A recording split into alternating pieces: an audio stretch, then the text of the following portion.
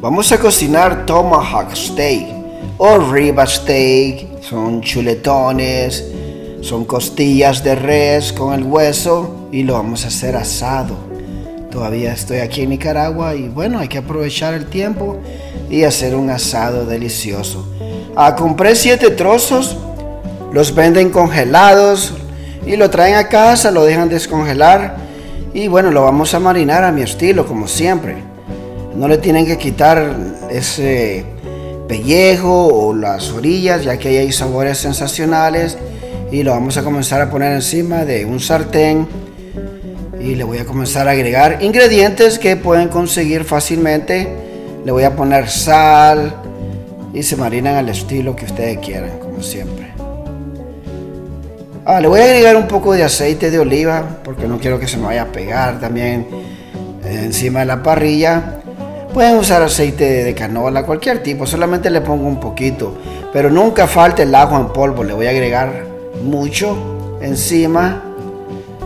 Ah, también le voy a agregar pimienta con sabor a limón.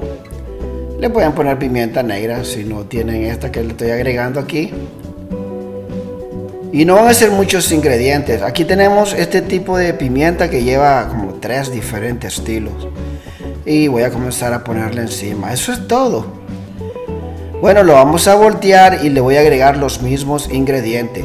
Cada trozo de filetón o de filete aquí cuesta, pesa como casi dos libras y media. Ya he hecho esta receta en los, en los Estados Unidos. Bueno, lo ponemos encima de la parrilla y con el fuego lento, ¿ok? Ah, también me dieron unos cinco trozos de pollo que estaban marinados y también encontré espacio y los puse ahí. Hay que tener paciencia, no hay que encender la llama de la estufa tan alta, solamente hay que esperar y van a tener un, un color, algo así doradito. Miren, es una indicación que ya están cocinados. A un lado, vamos a voltearlo. Y como siempre les recomiendo que usen un termómetro. De esa manera se dan cuenta si su carne, pollo, cerdo está cocinado a mí me gusta usar un termómetro todo el tiempo. De esa manera no tengo que estar adivinando o no tengo que estar haciendo cortes para ver si está cocinada la carne o no. Pero todo comienza a oler delicioso. Ok, miren qué trozo grande. Se comerían uno entero ustedes. En los restaurantes son demasiado caros. No hay nada como comprarlos crudos, traerlo a casa y cocinarlo y disfrutarlo con todos sus amigos y familiares. Es algo que, wow, se van a chupar los dedos. Bueno, el pollo también sabía divino. Ok, aquí uso el termómetro y siempre cuando ya mide más de 160, la carne está bien cocinada, pero este tipo de carne no queremos hacer eso. Queremos tenerlo como a 145 Fahrenheit. Y cuando los perritos vienen, ellos ya saben que la comida está lista y bueno, vamos a sacar la carne y ponerla a reposar. No se tiene que cortar en ese instante. Se deja reposar 10 minutos para que comience a soltar sus jugos.